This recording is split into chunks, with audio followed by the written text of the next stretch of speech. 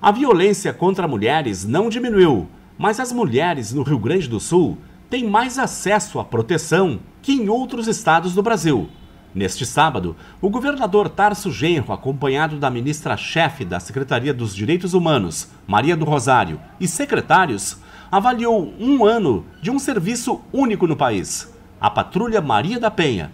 Na Academia da Polícia Militar, mais de 200 mulheres participaram. Uma política inovadora que combina uma série de ações do governo, que envolve várias secretarias, que tem um protagonismo extraordinário da Secretaria da Mulher e da Brigada Militar e da Polícia Civil. Eu acho que esse programa vai marcar aqui no país uma mudança de atitude da estrutura do Estado em relação à violência contra a mulher, que nós sabemos que é muito comum, não somente aqui no Rio Grande do Sul, mas em todo o país.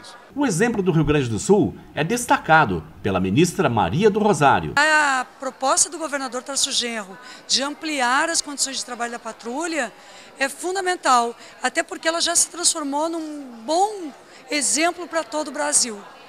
Com a Patrulha Maria da Penha, nós ficamos mais fortes para reduzir e enfrentar a violência contra a mulher, salvar vidas. É uma ferramenta que trabalha na prevenção, isso é fundamental. Sempre digo, nós não queremos mais trabalhar na consequência, no resultado, né, na violência propriamente dita. E a, a, a ferramenta Patrulha Maria da Penha, ela é isso, ela previne, ela faz um acompanhamento anterior, muitas vezes, aos casos de violência, fazendo com que a mulher se sinta cada vez mais protegida, em parceria com os territórios da paz. Nós estamos muito felizes, é, a avaliação é somente positiva do trabalho que a Brigada Militar desenvolve através da Patrulha Maria da Penha. Hoje há nove patrulhas Maria da Penha no estado, das quais seis em Porto Alegre. Além destas ações, né, vamos até metade do ano que vem, através inclusive de recursos que nós alocamos do governo federal, da Secretaria de Proteção de Política das Mulheres do governo federal, nós vamos até metade do ano que vem termos já com segurança implementado 32 novas patrulhas.